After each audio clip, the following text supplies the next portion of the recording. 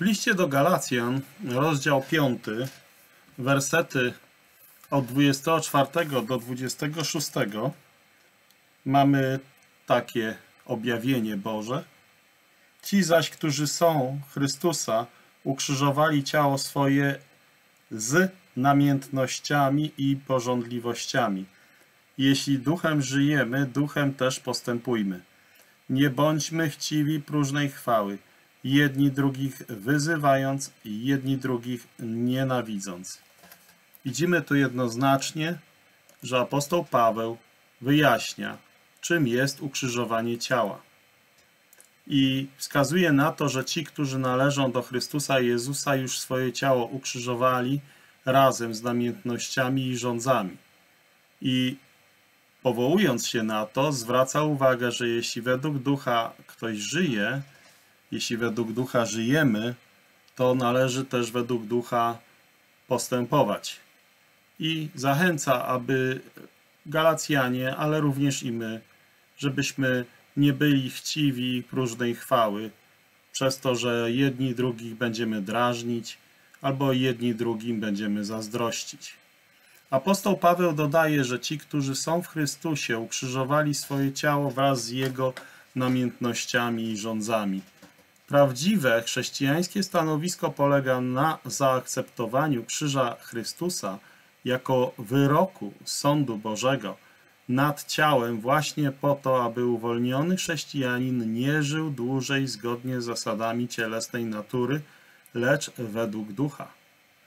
Jeśli zatem żyjemy dzięki Duchowi Świętemu, chciejmy również według Niego, według Ducha Świętego postępować zgodnie z Jego, z Ducha Świętego wolą, powierzając Duchowi Świętemu, powierzając Mu ster naszej ziemskiej pielgrzymki.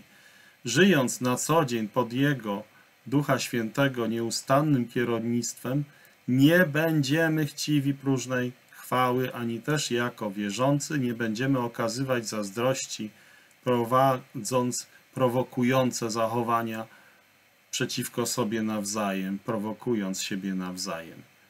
W szóstym rozdziale listu do Galacjan apostoł Paweł pisze tak w pierwszym wersecie.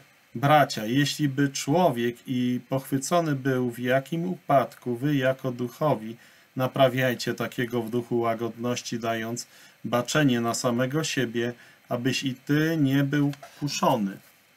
I zwraca tutaj uwagę na to, że bracia, do których adresuje te słowa, powinni, gdy człowiek zostanie przyłapany na jakimś upadku, powinni ci, którzy mają ducha, poprawiać takiego w duchu łagodności, uważając, bacząc każdy na siebie samego, aby i on nie był kuszony.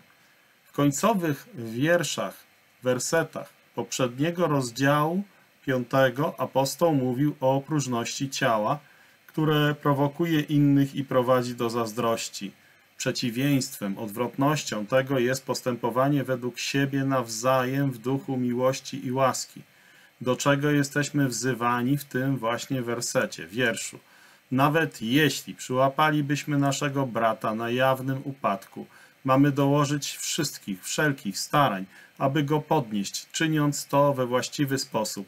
Mamy pomóc mu odwrócić się, powrócić do właściwego stanu, do zdrowej duchowej kondycji.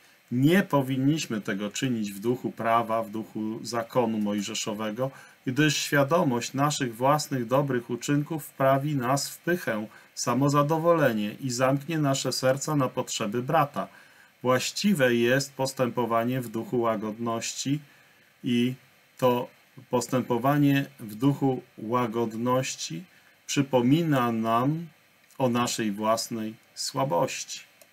Zresztą Słowo Boże wyraźnie kładzie nacisk, aby wszystkim była znana nasza łagodność. I dlatego odpowiednie jest postępowanie w duchu łagodności, która to łagodność przypomina nam o naszej własnej słabości.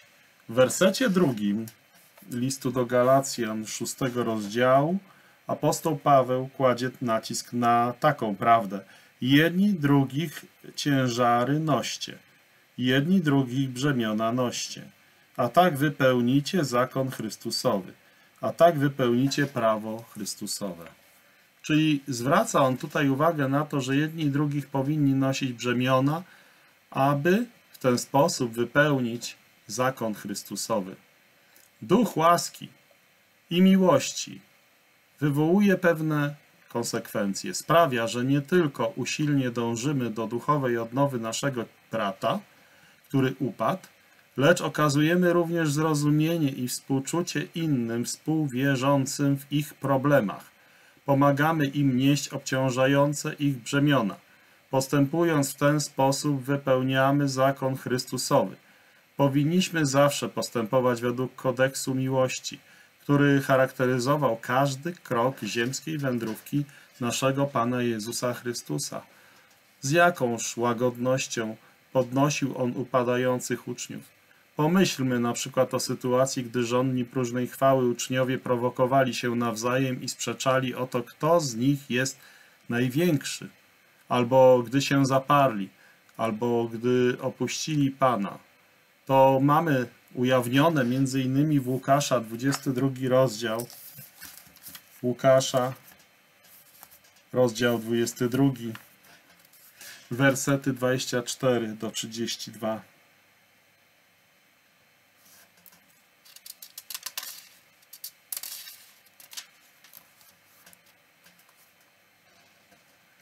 A wszczął się też spór między nimi o to, kto z nich ma być uważany za największego. A on im rzekł, królowie narodów panują nad nimi i którzy nad nimi władzę mają dobroczyńcami nazywani bywają. Wy zaś nie tak, lecz kto największy jest między wami, niech będzie jako najmniejszy i kto jest wodzem, niech będzie jako ten, co służy. Bo któryż większy jest, czy ten, co siedzi u stołu, czy ten, co służy? Czy nie ten, co siedzi u stołu? Ale ja jestem w pośrodku was jako ten, co służy, a wy jesteście tymi, którzyście wytrwali przy mnie w pokusach moich. I ja sporządzam wam, jak mi sporządził Ojciec mój królestwo, abyście jedli i pili u stołu mego w królestwie moim i siedzieli na tronach, sądząc dwanaście pokoleń izraelskich.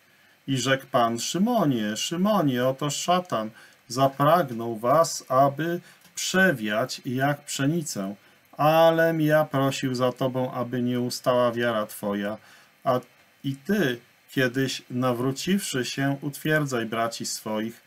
A on mu rzekł, Panie, gotów jestem z tobą iść i do więzienia i na śmierć.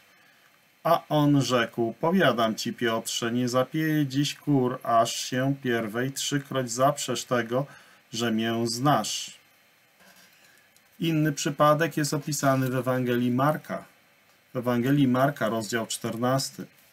W rozdziale 14 Ewangelii Marka od wersetu 27, 14, 27 do 28. Widzimy tutaj wyraźnie, jak Pan Jezus Chrystus reagował na upadki Jego uczniów. Zatem czytam. I rzecze im Jezus, wszyscy zgorszycie się ze mnie tej nocy, bo napisano, uderzę pasterza i będą rozproszone owce. Lecz, gdy zmartwychwstanę, poprzedzę was do Galilei. Jak wspaniale jest widzieć, obserwować życie Pana Jezusa Chrystusa na tej ziemi. Kiedy utożsamiał się z naszymi cierpieniami, służąc nam w miłości, jak czytamy, że w Mateusza 8:17. Mateusza 8:17. On słabości, on niemoce. 8:17 aby się wypełniło, co powiedziano przez Izajasza proroka mówiącego, On niemoce nasze wziął na się i choroby nasze nosił. Widzimy wyraźnie, On niemoce nasze wziął na siebie i choroby nasze poniósł. Tak uczy Słowo Boże w Mateusza, 8 rozdział, 17 werset. Także, wstępując w Jego ślady, w ślady Pana Jezusa, powinniśmy służyć jedni drugim w miłości – pokazując przez to choć trochę ze wspaniałości Chrystusa Jezusa Pana, co jest naszym wzniosłym celem. Po to przecież żyjemy na tym świecie.